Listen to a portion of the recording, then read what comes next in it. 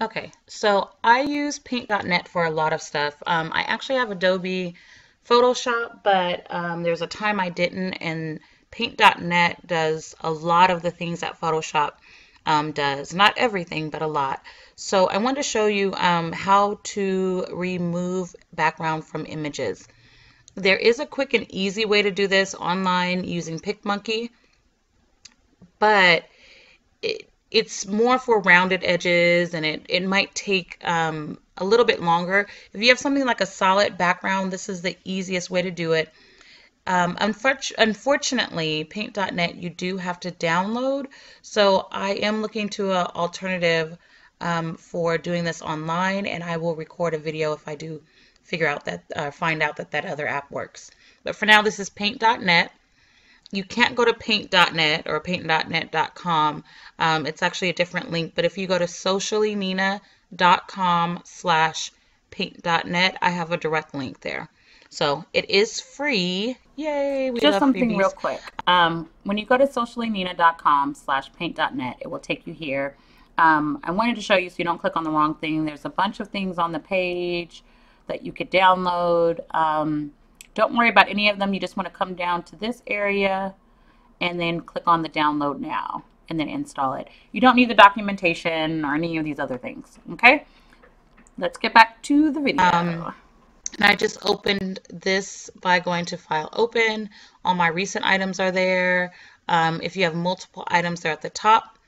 If you don't have any of these toolbars open, um, at the top on the right, you'll see that um, you can show toolbars there.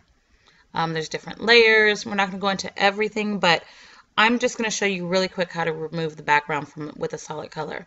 I'm going to come over here to this um, wand here. And if you have multiple colors um, in the background. You can use your tolerance and play around with it. But since this is a solid, I simply have to click one time, hit my delete key. Okay, so now it's a PDF. If I want to add a new background, I can add another layer.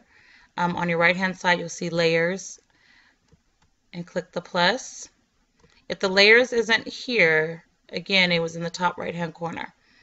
But um, this layer is on top. I would want to put it in the back. And you could upload a picture or you can, for just for sake of time, I'm going to use this um, shape and I can just pull it in the background different colors. So um, you can actually use the paint dumper. So there's a lot of different um, features here. But for me, I just wanted to, oh, now it's catching up. I just wanted to um, delete the background. So I'm going to delete this layer.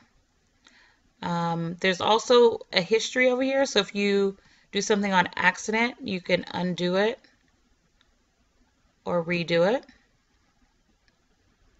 But now I'm going to save it. I'm just going to do File, Save As. One thing to note is that when you save it, you can, um, this one's going to be a default as a JPEG, but if you created a brand new document, it may default to paint.net, the PDN, and that's not really recognized by other apps, so you want to make sure and choose, select the right one. For a transparent background, you always want to save it as PNG. If you don't, the background will be white. Okay, so this will be banner and you click on save and that's it. You just click on OK. Um, just leave all this as, as default.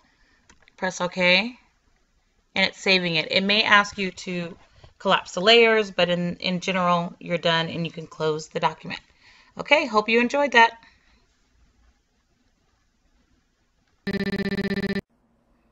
Hey, so did you like that video? If so, please like and subscribe.